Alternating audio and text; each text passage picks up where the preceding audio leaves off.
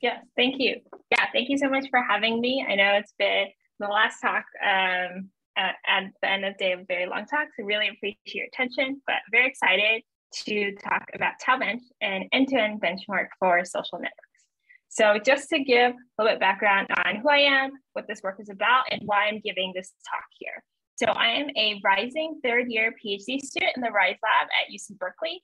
I'm co-advised by Professor Natacha Crooks and Ion Stoica, and my research has focused on transaction processing for databases. So my most recent work was RAMP which provided uh, read-only transactions at large scale. It appeared in VLDB last year, where it won Best Industry Paper Award. And today, I'll be talking to you about TAObench, a new benchmark for social networks based on Meta's production workloads. And this uh, work will appear in VLDB this year. And the reason I'm presenting this work is because I want to explore how TAObench can be useful for LDBC. So to start off, social networks are ubiquitous. There's a lot of them. There's billions of users on them, and uh, they're a very important application domain, as we've seen in the past decade. They're supported under the hood by large-scale distributed data stores, of which there are also a range. Um, TAO is Facebook's uh, social graph data store. Manhattan is at Twitter and there's a variety of other ones as well. However, social networking benchmarks are not as ubiquitous. As we began this work, we found there really was a lack of publicly available realistic workloads for this domain, which has made it difficult for developers to both understand the limits of existing systems, as well as test new features and mechanisms. Um, so we want we first ask the question, what are the properties that should be captured by workloads of a social network benchmark? And we boil these down to five crucial properties we felt um, were necessary. The first is that we feel they should be derived from production traces. To the best of our knowledge, only one of these exists. It's Linkbench from Meta, um, which was based on uh, production request traces and sought to accurately uh, emulate these workloads. Also, we should capture any transactional requirements because these are very important semantics for application developers, but can also have significant performance and scalability implications for the system. Uh, the workload should also express co-location constraints because sharding often is not just an implementation detail, but can reflect user intent, privacy constraints, and or regulatory compliance we also thought about how these request distributions should be modeled, and we felt they should, should be modeled without prescriptive, prescriptive query types. What we mean here is rather than encoding specific queries, we instead use probability distributions for adaptability and flexibility. Of course, there's a trade-off here. When you have specific query types, it's much easier to understand exactly what patterns you're seeing. But if you have thousands or tens of thousands of query types running on a system, it's very hard to encode all of these in, uh, individually with code. And finally, we should capture the behavior of multiple tenants because social networks tend to be very large systems. You have many different applications as well as sometimes even layered infrastructure running on top. There is coordinated behavior, which can have important uh, effects on the underlying system and should be captured in the workload.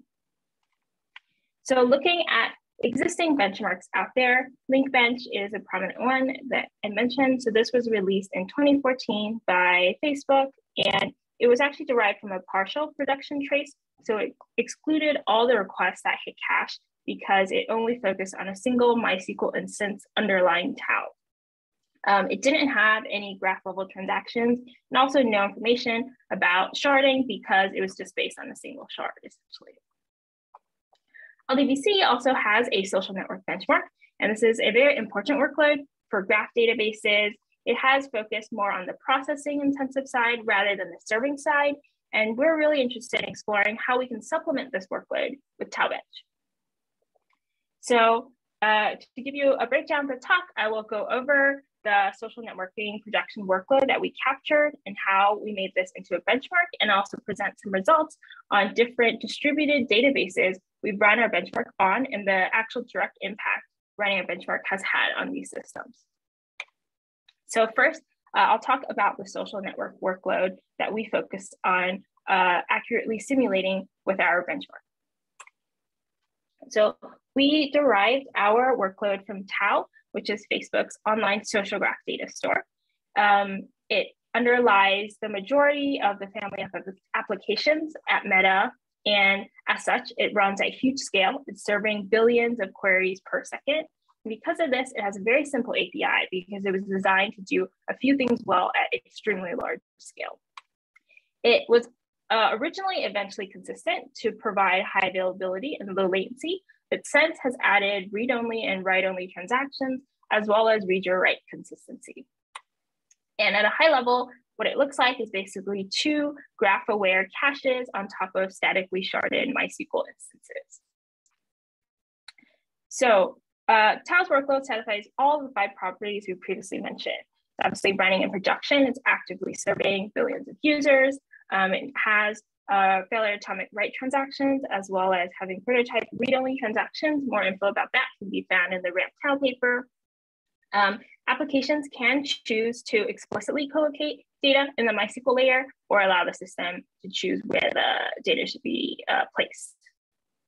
Furthermore, with uh, tens of thousands of query types per day, uh, it's very difficult to be able to replicate all these query types in the benchmark. So we really need sort of uh, probability distributions to model the full workload. And because there are many applications and uh, shared infrastructure running on top of TAO, we're able to see distinctive trends both uh, from single applications and across product groups that share the same infrastructure as well. Cool. So in terms of collecting data, what we did is we basically analyzed traces um, collected over three days. And the reason we chose three days is because we noticed that the most significant pattern was daily periodic periodicity.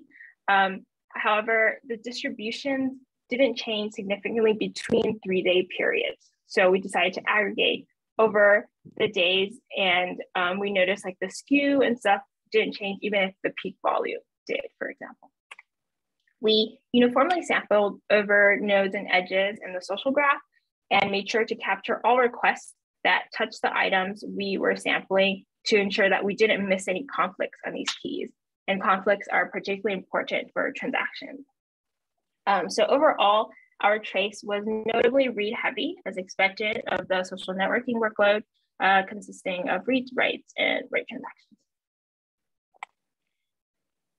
So now I will go over a couple of interesting findings from our workload characterization. More insights can be found in our paper. Um, this is sort of just a preview to give a sense of uh, yeah, some interesting points in the workload. So one thing we found was that while social networks are known to be very skewed, uh, the read and write skew we observed actually occurred on different keys. So um, what I'm showing here is basically the read and write frequency per day for the top 400,000 uh, write keys for the like assoc. Basically, when you like something on Facebook, this corresponds to a data item shown here. So each point is a data item. And what we find is that there is a clustering of keys that are read infrequently or written to quite frequently. These can involve like asynchronous background tasks or data migration, explaining why there's like many more writes than reads. On the other hand, there are also keys that are written to frequently and read frequently as well. And this could, for example, be a post by celebrity. So it like, gets a lot of likes and viewed also very frequently. Another interesting finding we had is that um, some transactions can involve many items. So here I'm showing the breakdown of write transactions uh, both by the number of operations as well as the number of distinct shards touched. And you can see that I can get up to 100 operations on over 50 shards. And um, most of these, most of the larger ones especially are undergoing optimized protocol, which is described in RAMP um, to not affect non-transactional requests, but it shows sort of the diversity of the workload and the challenges of supporting especially very large transactions when you have like billions of reads also going on in the system. We also looked at contention in detail. So, um, and we found that transactional conflicts actually vary greatly for different application use cases. So what this graph is showing here, it's a CCDF of sort of the conflicts per day on key type. Uh, so key type is a proxy for uh, different application use case. So basically each dot is a different um, application using transactions. And we're showing both write, read, and write, write conflicts. We don't have any read, write conflicts because there are currently no blocking reads on TAO. Um, and something interesting we found was that the vast majority of write conflicts were actually due to intentionally racing writes, basically meaning that the application would send multiple writes knowing that only one of them would succeed. And the reason they do this is uh, I can give a quick example here. So there's an application and it wants to sort of generate edges for live video time slices. And it wants to make sure that these edges are in place by the time it needs to access them. So sort of send multiple requests and rely on the system to ensure atomicity and guarantee only one of these edges will be created uh, per time slice. Yeah, so this is a brief overview. There's a lot more details in our paper, which um, will appear in VLDB. So with sort of our workload characterization, we identified a set of parameters that we showed to be sufficient to reliable reproduce these workloads. And they sort of fall into two categories, either pretty generalizable or unique to TAO, but the properties they're capturing are pretty important to any social graph, I would say. So more the more general ones are like transaction size, sharding, operation type, is it a read, a write, write transaction, um, request sizes. In terms of unique to TAO, the later three are the ones that are a little bit more tied to the system. So association type here means there are certain constraints applied to edges, like whether it's unique, whether it's bidirectional, so it has like an inverse pair. Um, but these are sort of important properties in a lot of social graphs. And for preconditions, these are basically constraints placed on writes. So this write will only succeed if the version is at an X value. So it's generally used for like compare and swap functionality. And read tier just indicates what tier um, the request is served by. So is it served by the cache or by the database? So with these parameters, we then created TAOBench, a new benchmark for social networks. Um, so at a high level, our benchmark consists of scalable distributed drivers that can be easily extended to other systems. We take in several parameters. So the benchmark we take in like duration of the workload you want to run, the target throughput, as well as uh, the length of the warm-up period. And then for the workload, we specify the parameters we previously mentioned in a configuration file based on probability distributions. So these can be discrete, piecewise, linear, uniform, et cetera, distributions depending on what workload you want to model. And this is taken in by the driver, which will first uh, generate an initial sort of baseline social graph in the data store, and then run the actual workload on this baseline graph. Um, our API is quite simple. And it's based on TAO. Basically, you have read and writes as well as read and write transactions, and optionally, they could be preconditions on the writes and write transactions. And we found that this API is actually very easy to map uh, to other systems. We currently have support for MySQL and Postgres, and also adapters for a bunch of other distributed SQL databases. For workloads, we've open sourced three workloads currently and are hoping to extend that as well. So we have first T, workload T, the current transactional workload, basically capturing all requests that go to keys that currently are accessed by transactions on TAO. We also have uh, workload A, the application workload, which is a speculative transactional workload that captures long-term transactional boundaries we want to support, so requests that are currently sent in parallel, but are not yet under the transactional API. And finally, we have workload O, which is the overall workload, and it's a comprehensive uh, TAO workload that's notably read heavy. So I'll go briefly now over how we validated the integrity of the workloads that our benchmark was ge generating and ensured that the parameters we were using were sufficient to reproduce the characteristics we cared about. So in our validation process, we focused on latency and contention. We chose to use these two features because they uh, come from interactions between the workload and the system. A lot of the other parameters like transaction size, for example, we were already matching by construction because we we're giving those as input into the benchmark. Um, and contention in particular is really important for transactional workloads.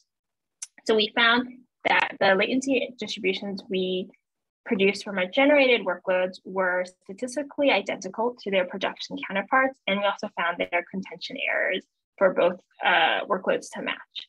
So this graph here is sort of showing the latency distribution breakdown for two different workloads and the production counterparts in blue and the ones generated by our benchmark are in red and green respectively. And um, this is just like a visual, but we also did use statistical tests to ensure that they uh, were not different. So um, with this benchmark, um, we were really excited to see how it could be used on other systems and how it could be helpful to the wider database community. So now I will talk about how, what we've run TAOBench on, results from those, and the impact of our benchmark so far. So we evaluated TAOBench on five distri different distributed uh, databases. So Cloud Spanner, which is Google's SQL database, CockroachDB is also um, a well-known commercial database that's open source. Uh, PlanetScale is a sharded MySQL database based on Vitess. and um, TiDB is a HTAP database from PingCap, also open source, and Yugabyte, which is a up and coming cloud database um, that supports SQL.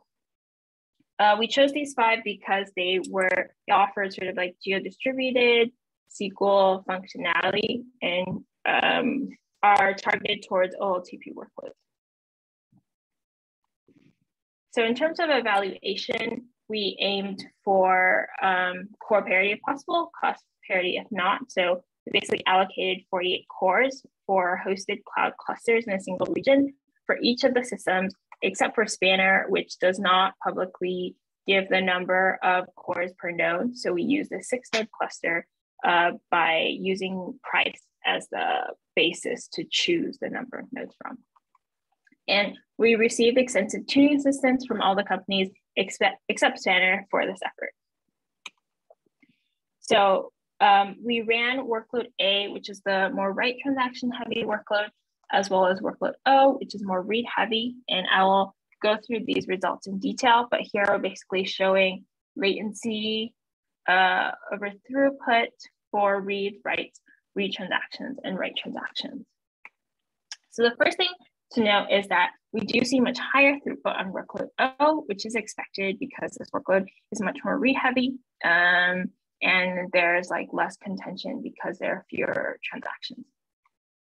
We also found that we're able to elucidate performance differences on the same system with our workload. So we found that write transaction latency was higher on workload A uh, that compared to workload O. While explaining these differences are out of scope for this particular work, it demonstrates that our benchmark is able to be useful as a tool to explore different aspects of the system. We also found that performance degradation varies across the system. So you'll for Spanner, you'll see that latency uh, stays pretty much the same until you push the system past um, sort of you're using like all your all the CPU in the system. So then latency will like spike versus for PlanetScale, as you add more load to the system, the latency gradually increases. Uh, again, we're not trying to like compare the various systems here, but we're just trying to show that our benchmark is able to demonstrate different differences on these systems and can be used as a comparative tool. Um, I'll also describe the system impact we've had with our benchmark. So uh, there are more details in the paper, but I'll talk about some bugs we were defined for UIDB as well as optimization opportunities. So when we first ran this benchmark uh, on the system, the performance is actually slower it's, it's quite slow and we felt like there might be some issues with their systems and we basically worked with the engineers we ran the benchmark for them and using our benchmark and they found a bottleneck with a postgres monitoring extension that was using exclusive locks and we were able to um, fix this bug and we saw much higher performance on their system uh, after this fix. We also identified an optimization for scans so we noticed out of memory errors when we were running TAOBench initially. We run scans during our loading phase, and this led us to help the engineers discover that they weren't pushing down filters for scans to Postgres. So anytime you wanted to like scan a certain amount of rows from a table, they were actually materializing the entire table into memory. Um, that has since been fixed, and we've seen much better performance on these queries. And um, this functionality is also generally available now. So in conclusion, I've presented a new benchmark, TAOBench, which satisfies the five important properties that we identified for social network benchmark workloads. And I'm really interested to open discussion for how TAOBench can be useful to LDBC. And um, you can reach me here, but also happy to take any questions now. And yeah, thank you.